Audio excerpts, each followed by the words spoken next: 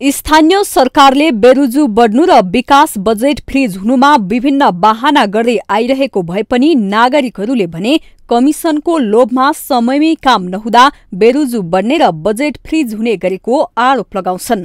असारे विकास र कर्मचारीहरूका कारण पनि यस्तो समस्या हुने गरेको दाङका स्थानीयको गुनासो छ। समस्या मेजर कुरो चाहिँ रकमान्तरको समस्याले गर्दाखेरि पनि बेरोजी हुने सम्भावना हुन्छ। र अर्को कुरा चाहिँ हतारका निर्णयहरू जस्तै असारे बजेट भनेर भन्छौँ। असार मसान्तमा चाहिँ सम्ममा सक्नुपर्ने। पहिले चाहिँ मङ्सिरदेखि चाहिँ यो काम कार्ययोजनाहरू चाहिँ कार्यान्वयन भएपछि बेरोजी हुने समस्याहरू एकदम कम हुन्छ। जब पर्यो राति तब बुढी टाटी विकासका बजेटहरू पहिले त आयोजनामा कति काम गर्न सक्छ त्यो आयोजनाले त्यो के सरकारले निकुल गर्न सक्दैन। जब के धेरै रकम राखिदिन्छ राष्ट्रिय आयोजनाहरूमा त्यो रकम खर्च हुन सक्दैन। असारको बिस पच्चिस गतिसम्म पनि खर्च नभएपछि त्यो रकम अन्त रकम अन्त गरिदिन्छ त्यो हता हतारमा रकम गर्दाखेरि कतिपय ठाउँमा बेरुजु जान्छ। जिल्लाका दस स्थानीय तह मध्ये सबैभन्दा बढी बेरुजु तुलसीपुर उपमहानगरपालिकामा देखिएको छ। तुलसीपुरमा मात्र सत्र करोड भन्दा बढी बेरुजु देखिएपछि उपमहानगरले भने सैद्धान्तिक बेरुजु धेरै आएको प्रतिक्रिया दिएको छ। बेरुजु भनेको रुजु जुन कानुन हुनुपर्ने हो त्यसमा अलि नहुँदाखेरि बेरुजु आयो। त्यसमा केही सैद्धान्तिक कुराहरू सैद्धान्तिक बेरुजु पनि आउने भयो र केही चाहिँ नि यो असल उपर गर्नुपर्ने हुन्छ। हामी कहाँ अहिले सैद्धान्तिक बेरुजु ठुलो मात्रामा छ असल उपर गर्ने एकदम न्यून। मात्रामा छ। जिल्लाका सबै स्थानीय तहमा गरी बहत्तर करोड भन्दा बढी बेरुजु आएको छ। यस्तै जिल्लामा तीन अर्ब बढी विकास बजेट फ्रिज भएको छ। घोराही उपमहानगरमा पनि तेह्र करोड बढी बेरुजु देखिएको छ। कागज पत्र नपुगेको असुल उपर गर्न बाँकी प्राविधिक प्रतिवेदन दाखिला नगरेको लगायतका कारण बेरुजु देखिएको उपमहानगरले जनाएको छ।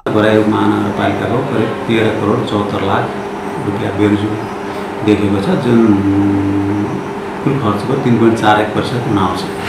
बेरुजु अब धेरै प्रक्रिया हुन्छन् अब असुल गर्ने कागज प्रमाण नपुगेको प्राविधिक प्रतिवेदन दाखिला गर्नुपर्ने नियमसँग नदेखि लगायतका कुराहरू पनि बेरुजमा मूल्याइन्छ अब त्यसमध्ये सबैभन्दा जटिल प्रकृतिको र अलिकति ध्यानै नपुगेको भनेको बेरुजुको भनेको असुलपर गर्ने प्रकृतिको भनेर जुन महानगरपालिका कार्यालय ओलिएको हुन्छ त्यो प्रकृति भने अलिकति जटिल हो जस्तो मलाई लाग्छ। प्रदेश र स्थानीय सरकारहरूले आफ्नो अनुकूलता अनुसार नियम कानुनहरू बनाउन नसक्दा वर्षेनी बेरुजु बढ्दै गएको कोष तथा लेखा नियन्त्रक कार्यालय दाङले जनाएको छ।